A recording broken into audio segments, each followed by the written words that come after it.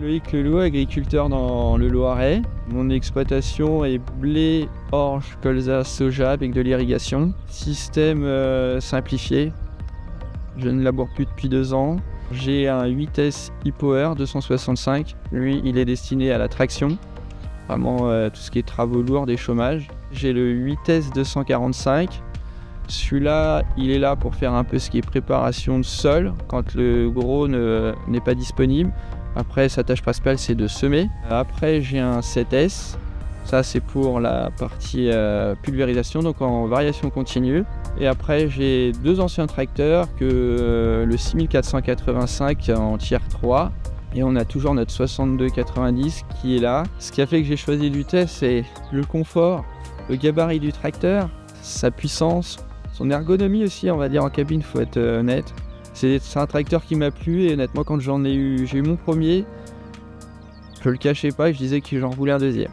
C'était le tracteur que je voulais, un 8S quoi. J'ai fait le choix de l'iPower, c'est que c'est un peu une transmission un peu hybride je trouve.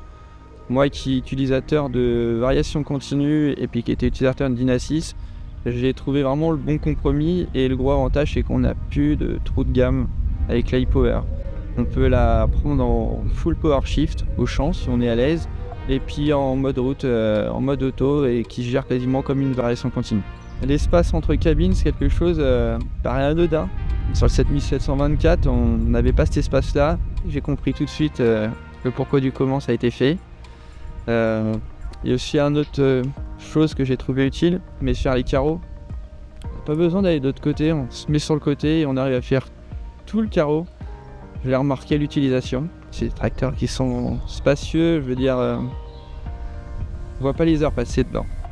Je vois, moi, ça a été une sacrée différence quand j'ai passé de 7724 à celui-là. J'avais, j'avais, je peux faire plus d'heures avec. J'arrive à la maison, je suis moins fatigué. Tous les tracteurs sont équipés au GPS, même le 6290. Je suis en RTK. Euh, tous les passages sont figés au jour d'aujourd'hui. Tous les déchômeurs. Je rentre dans un champ. Euh, toutes les bordures sont dessinées. Les établissements allez-y. C'est un concessionnaire qui a plusieurs bases. Ça nous a amené des choses positives.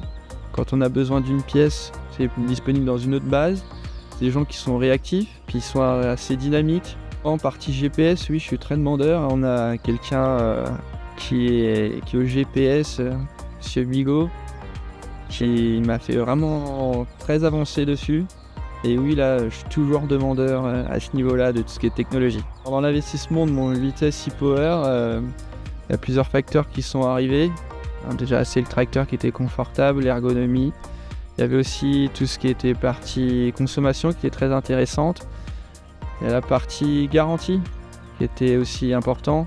Et après, j'ai la partie, euh, tout ce qui était crédit buy de chez ACO, qui est très intéressant, souple. Ça m'a permis d'ailleurs même euh, de recommencer euh, deux fois après. Et le design, oui, j'aime euh, quand c'est beau. Ce tracteur là, on le regarde deux fois. Il nous choque le premier coup et le deuxième coup, bah, tracteur que, que j'ai apprécié, il est très beau. J'adore tout ce qui est son bandolet devant. L'espace entre cabines, c'est atypique, mais moi j'aime bien. Et la couleur rouge, c'est quelque chose que j'affectionne aussi.